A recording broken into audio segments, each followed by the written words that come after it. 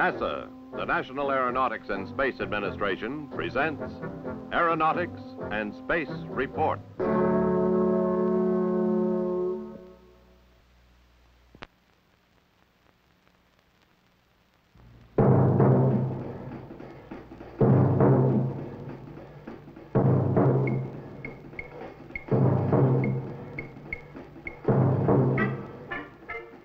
This is where the suits worn by Apollo astronauts are sewn, cemented, assembled, and tested. ILC Industries in Dover, Delaware is where they put it all together. Arms, legs, torso, boots. The end product, an incredibly reliable, custom-tailored, hand-assembled life support system, a spacesuit. The initial measurements taken at NASA's Manned Spacecraft Center in Houston are the first step. When an astronaut is assigned to a particular flight, many measurements are taken of his body, approximately 60. Uh, it takes three months from the time we have his measurements till we do have a spacesuit built for him. There's a formula involved to give the man maximum mobility in a confinement of, you might say, a pressurized balloon. It is in this production room that the balloon-like inner suit called the bladder is assembled. Individual parts move on a schedule that brings all the pieces together into an integrated spacesuit. Meanwhile, on the second floor of the plant, the white outer suit consisting of 17 layers is cut out and assembled.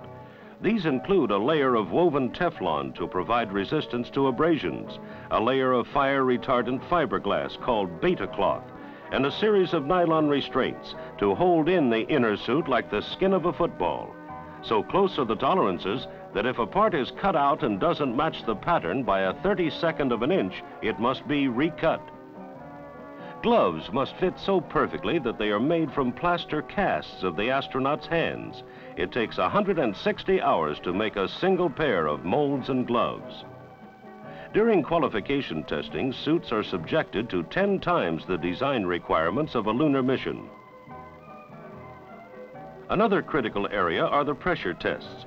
To be accepted, a spacesuit must have practically zero leakage when pressurized. Each of the prime crewmen on an Apollo mission has three suits made, a training suit used till the day of launch, a flight suit, and one that serves as a backup. The last stop is called the fit check. Here, astronaut Charles M. Duke, lunar module pilot for the upcoming Apollo 16 moon landing next March, tries on one of his suits for size and comfort. Okay, sir, you're at vent pressure. You want to stay there and... Yeah, let me work it out a little bit. The fit check is done in two parts. First, the inner suit Oh, is worn. like it's up higher. Adjustments are made, and later in the day, the astronaut dons the two pieces, now put together as one totally integrated suit. It is here that the suit is finally accepted or sent back for additional changes. We asked astronaut Duke to comment on his suits.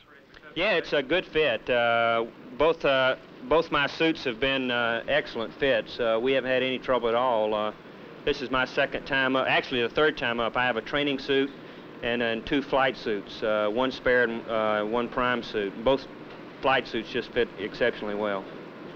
Real pleased. Like a jigsaw puzzle, the pieces forming a garment that the astronauts can wear with comfort and confidence are brought together. A garment that serves as a small-scale Earth environment in the hostile, airless environment of space.